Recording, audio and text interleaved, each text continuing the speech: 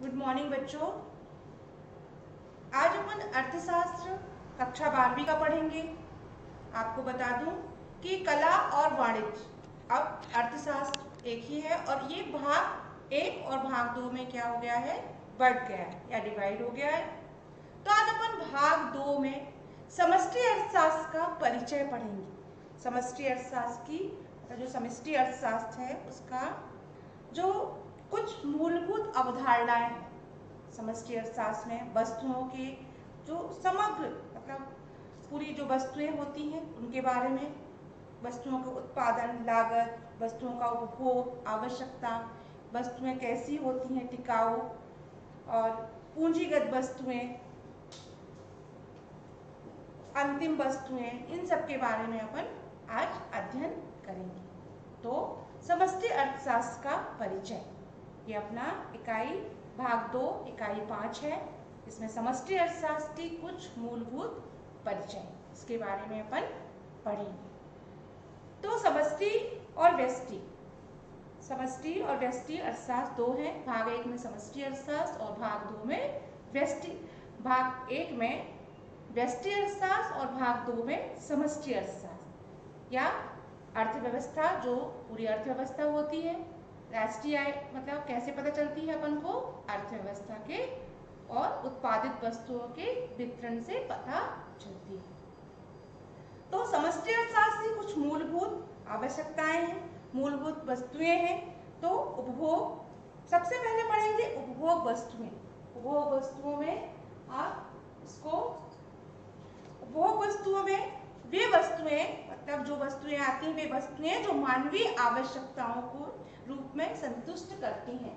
तो अपन सबसे पहले वस्तुओं का उपभोग करते हैं। वो कौन सी होती है? मतलब जो उपभोग की गई वे वस्तुएँ। वे वस्तुएँ जो मानवीय मतलब मनुष्य की आवश्यकताओं को क्या करता है? पूरा करता है। और जब उसकी आवश्यकता से मनुष्य क्या होता है? उनको जो वस्तुएँ हैं, उनसे क्या प्राप्ति होती है? संतुष्टि प्राप्त होती है, जिसका उपयोग अन्य वस्तुओं के उत्पादन के लिए नहीं किया जाता। जैसे आप कोई वस्तु का उपभोग करते हैं, उसके बाद जैसे डबल रोटी हो गया, मक्खन हो गया, दूध हो गया, इसको आप एक ही बार उपयोग करोगे।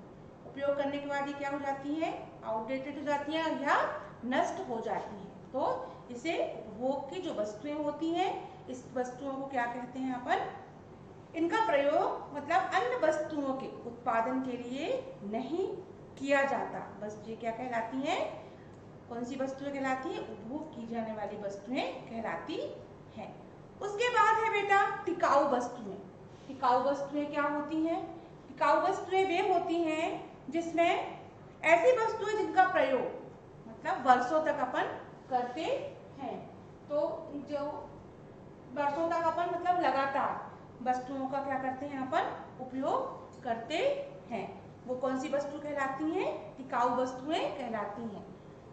वस्तुओं के, जो वस्तुएँ होती है, उनका उपभोग वस्तुओं के प्रकार। उससे सबसे पहले है टिकाऊ वस्तुएँ, फिर है अर्ध टिकाऊ वस्तुएँ, और दूसरा, तीसरा है गैर टिकाऊ वस्तुएँ। तो टिकाऊ वस्तुएँ वे होती हैं जिसमें अपन लंबे समय तक, जैसे कि आप मान लीजिए मशीनें हो गई, मशीन और कुछ आधुनिक उपकरण हो गए जो अपन उनका उपयोग क्या करते रहते हैं? लंबे समय तक। लंबे उपकरण जैसे टीवी हो गया, कंप्यूटर हो गए, ये सब क्या है? आधुनिक उपकरण है, जिनका उपयोग अपन क्या करते हैं? लंबे समय तक करते हैं। वे कहलाती हैं टिकाऊ वस्तुएँ, जिनको अपन फिर है अर्ध अर्ध टिकाऊ वस्तुएँ। अर्ध टिकाऊ वस्तुएँ वे होती हैं जिसका प्रयोग एक वर्ष में या कुछ अधिक समय के लिए किया जाता है जिनका उपयोग अपन कम समय के लिए करते हैं। वो कैसी होती है? गैर टिकाऊ वस्तुएँ होती हैं। कौन सी वस्तुएँ जिनका उपयोग अपन कम समय के लिए करते हैं? वो कौन सी वस्तु कहलाती हैं? गैर टिकाऊ वस्तुएँ कहलाती हैं। ऐसी वस्तुएँ जिसमें मतलब अपन कम समय के लिए, जैसे कि मान लीजिए आप जिसका प्रयोग हम केवल एक ही बार करते हैं और उसके बाद उसका उपयोग नहीं। ये बेटा अर्ध टिकाऊ वस्तुएँ अर्ध टिकाऊ वस्तुएँ वे होती हैं जिनका उपयोग केवल अपन एक वर्ष के लिए या उससे थोड़े अधिक के लिए करते हैं। वे क्या कहलाती हैं? अर्ध टिकाऊ वस्तुएँ कहलाती हैं। अर्ध टिकाऊ वस्तुओं के अंतर्गत बेटा कपड़े हो गए, फर्नीचर हो गया तो बच्चों, ये हो गई अपनी अर्ध टिकाऊ वस्तुएँ हो गई। फिर उसके बाद है बेटा, सेवाएँ। सेवाएँ कैसी होती हैं? वे सेवाएँ जो बहुत अभौतिक होती हैं। जैसे वस्तु, जैसे मानवीय आवश्यकताओं को प्रत्यक्ष रूप से संतुष्ट करती हैं। सेवाओं के अंतर्गत क्या आता है बेटा? एक एक जो होता है वकील हो गया, मान लीजिए आप। ये क्या हो गए? कुछ सेवाओं के अंतर्गत आती हैं जो क्या कहलाती हैं? सेवाएँ संतुष्ट करने के लिए मान लीजिए पैसे से जो सेवाएँ देते हैं, उनमें जैसे हो गया डॉक्टर हो गया, वकील हो गए, ये सब मानवीय आवश्यकताओं को प्रत्यक्ष रूप से संतुष्ट करने के लिए होती हैं जो सेवाएँ मतलब आप कहेंगे, सेवाएँ कहेंगे तो ये सेवाएँ आपको कौन देता है? डॉक्टर, शिक्षक वकील ये सब जो हो गए आपके, ये सब सेवा के अंतर्गत, ये अभौतिक सेवाओं को, जो मानवीय आवश्यकताओं को संतुष्ट करने के लिए है, वो है चौथा संतुष्ट सेवा। तो ये है आपने आपने पढ़ा बेटा? उपभोग वस्तुओं के प्रकार। इसमें टिकाऊ वस्तुएँ हो गई, अर्ध टिकाऊ वस्तुएँ हो गई, गैर टिकाऊ वस्तुएँ हो गई, उसके बाद चौथा है सेवाएँ, जो ये क्या है? उपभोग वस्तु के प्रकार। जो अपन समष्टि अर्थशास्त्र की कुछ अवधारणाओं के अंतर्गत आता है। फिर इसके बाद बेटा, पूंजीगत वस्तुएँ। पूंजीगत वस्तुएँ जो अपन पूंजी के माध्यम से खरीदते हैं, उसे क्या? पूंजीगत वस्तुएँ। ऐसी वस्तुएँ जिनका प्रयोग उत्पादन प्रक्रिया में कई वर्षों तक किया जाता है। मतलब अपन कोई भी बच्चों, अगर अपन कोई भी वस्तु खरीदेंगे तो अपन कैसे खरीदेंगे? पूंजी से। तो अर्थशास्त्र में पूंजीगत वस्तुएँ, जिसके लिए अपन लंबे समय के लिए वस्तुएँ क्या करते हैं? खरीदते हैं। ऐसी वस्तुएँ जिनका प्रयोग उत्पादन में कई वर्षों तक इसका उपयोग अपन करते हैं, जिसका मूल्य ज़्यादा या ऊँचा होता है। अपन जब कोई ठोस वस्तु या पूंजीगत वस्तु खरीदेंगे तो उसका मूल्य क्या होगा बेटा? उसका बच्चों, उसका मूल्य ज़्यादा ही होगा। जैसे कि पूंजीगत उसे क्या कहेंगे? पूंजीगत वस्तुएँ कहेंगे। कई वर्षों के लिए आपको अगर प्रश्न पूछा जाए पूंजीगत वस्तुओं की परिभाषा, अर्थ लिखकर उदाहरण दीजिए तो आपको ऐसे लिखना होगा बच्चों, ऐसी वस्तुएँ जिनका प्रयोग उत्पादन प्रक्रिया में कई वर्षों तक किया जाता है जिनका मूल्य ज़्यादा या ऊँचा होता है, वे क्या कहलाती हैं? पूंजीगत वस्तुएँ कहलाती हैं। उदाहरण के लिए ले लीजिए, आप पूंजीगत वस्तुओं को उदाहरण में लेंगे।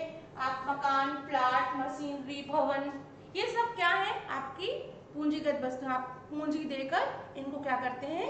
खरीदते हैं। तो ये पूंजीगत वस्तुएँ हैं और ये कई वर्षों के लिए इनका अपन क्या करते हैं? कई वर्षों तक इसका क्या करते हैं? अपन उपभोग करते हैं। इसलिए इनको क्या कहेंगे? पूंजीगत वस्तुएँ कहेंगे।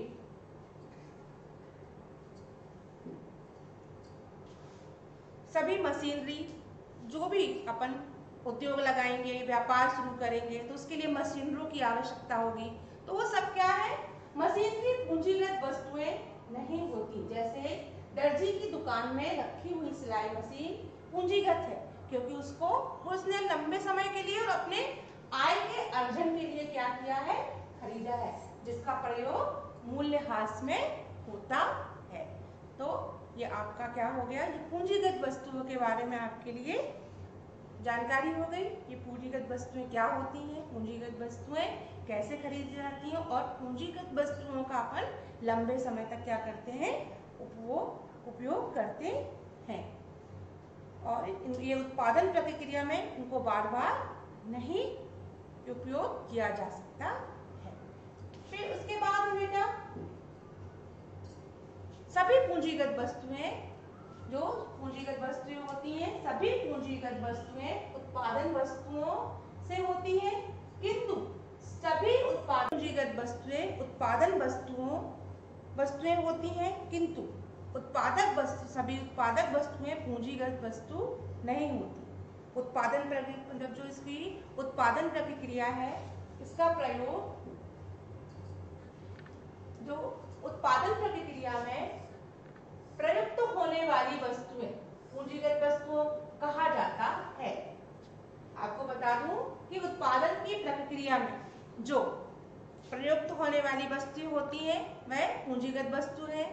उत्पादन, जब किसी वस्तु का अपन उत्पादन करेंगे तो वस्तु के उत्पादन में काय की आवश्यकता होती है? कच्चे माल के रूप में उपयोग किया जाता है। तो सबसे पहले अपन को कच्चे माल की आवश्यकता होगी। जैसे आपको फर्नीचर बनाना है तो उसके लिए काय की आवश्यकता है? लकड़ी। तो उत्पादन वस्तुओं की कच्चे माल के रूप में प्रयोग की गई वस्तु जैसे लकड़ी तथा स्थिर परिसंपत्ति के रूप में मशीनरी प्लाट शामिल है। ये क्या है? टिकाऊ वस्तुएँ होती हैं। आप टिकाऊ वस्तुएँ इसलिए कहेंगे बेटा? बच्चों, की जो मशीनरी होती है ये अपन एक बार कोई भी अगर अपन कोई प्लांट लगाएँगे या उद्योग शुरू करेंगे तो मशीनरी भी अपन एक बार खरीदेंगे प्लॉट भी एक बार खरीदेंगे। और अगर अपन फर्नीचर का निर्माण करेंगे तो वो भी वर्षों के लिए करेंगे। तो ये कैसी वस्तुएँ हैं? इनको पूंजीगत वस्तुएँ कहा जाता है और ये टिकाऊ वस्तुएँ भी होती हैं। और कच्चे माल के रूप में की जाने वाली, इनको कच्चे माल के रूप में उपयोग की जाने वाली वस्तुएँ, एकल उपयोग वस्तु होती हैं। उसमें उत्पादन प्रतिक्रिया बार बार नहीं की जा सकती है। तो ये आप क्या है आपके लिए? जो वस्तुएँ हैं, कैसी वस्तुएँ हैं उत्पादन प्रक्रिया के लिए? ये पूंजीगत वस्तुएँ हैं, टिकाऊ वस्तुएँ हैं और इनका प्रयोग अपन एकल, इन वस्तुओं का प्रयोग एकल उपयोग वस्तुओं में है। उसकी उत्पादन प्रतिक्रिया बार बार नहीं की जा सकती है। टिकाऊ वस्तुओं के अंतर्गत फिर होता है अंतिम वस्तुएँ। तो अंतिम वस्तुएँ, उत्पादन के समय सीमा रेखा पार करने के पश्चात जो वस्तु, अंतिम वस्तु बनती है, अर्थात वस्तु अपने जो उत्पादन मतलब अपन ने अंतिम वस्तु का उत्पादन कैसे होगा? उत्पादन के समय समय सीमा पर पार करने के पश्चात वस्तु अंतिम वस्तु बनाती है। जब जो वस्तुओं का निर्माण है, उनका अंतिम वो है तो कैसे होगा? वस्तु जो अंतिम निर्माण होगा तो एक समय सीमा के बाद उन वस्तुओं का क्या निर्माण होगा? वस्तु अपने अंतिम प्रयोगकर्ता द्वारा प्रयोग के लिए तैयार होती है। जैसे कि सकल घरेलू उत्पादन के लिए जो भी वस्तु तैयार होती है, वह अंतिम रूप से इनका क्या किया जाता है? प्रयोग किया जाता है। और अनुमान लगाते हैं कि समय भी केवल अंतिम वस्तुओं को में शामिल किया जाता है तो यह वस्तुएँ अपने अंतिम प्रयोगकर्ता द्वारा प्रयोग के लिए तैयार होती हैं, जिसे सकल घरेलू उत्पादन के अनुमान लगाते समय भी केवल अंतिम वस्तुओं को क्या किया जाता है? शामिल किया जाता है। अंतिम वस्तुओं का वर्गीकरण। अंतिम वस्तुओं का वर्गीकरण भी दो भागों में विभाजित है बेटा। बच्चों तो अंतिम उपभोग वस्तुएँ जिनका उपयोग आप अंतिम अंतिम मतलब लास्ट जो अपन आवश्यकताएँ होती हैं, मनुष्य की आवश्यकताएँ कैसी हैं, छात्रों, बिल्कुल असीमित हैं। और उनको मतलब एक वस्तु का उपयोग करने के बाद उनको जो आवश्यकता, अपनी मानवीय आवश्यकताओं को संतुष्ट करने के लिए वस्तुओं का जो वो उपभोग करते हैं तो उसे अंतिम उपभोक्ता वस्तु कहते हैं। तो अंतिम उपभोग वस्तुएँ वे होती हैं वह वस्तुएँ जो उपभोक्ता द्वारा मानवीय आवश्यकताओं को संतुष्ट करने के लिए होती हैं, वह कहलाती हैं अंतिम उपभोक्ता वस्तुएँ कहलाती है। अंतिम उपभोग वस्तुएँ, जैसे कि मान लीजिए, टीवी, डबल रोटी, वकील की सेवाएँ, इनका प्रयोग पारिवारिक क्षेत्र में भी किया जाता है।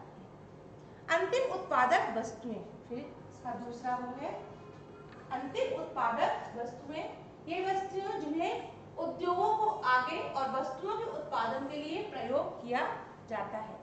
जो अंतिम उत्पादक वस्तु होती हैं, उनका उपयोग उद्योगों को आगे और वस्तुओं के उत्पादन के लिए। अपन कोई भी व्यवसाय या कोई भी उत्पादन करते हैं, वे वस्तुएँ जिन्हें उद्योग द्वारा आगे और वस्तु के उत्पादन के लिए प्रयोग किया जाता है, उसे अंतिम उत्पादक वस्तु कहते हैं। तो जैसे कि हो गया मशीनरी बिल्डर्स पदार्थ, राष्ट्र, ये सब क्या है? राष्ट्रीय आय का भाग बनते हैं।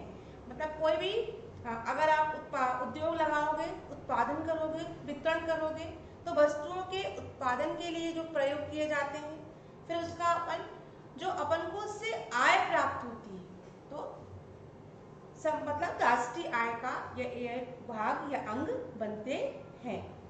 तो जो बिल्डर्स होते हैं यह राष्ट्रीय आय को का मतलब राष्ट्रीय आय अंतिम उत्पादन वस्तुओं से भी प्राप्त होती है।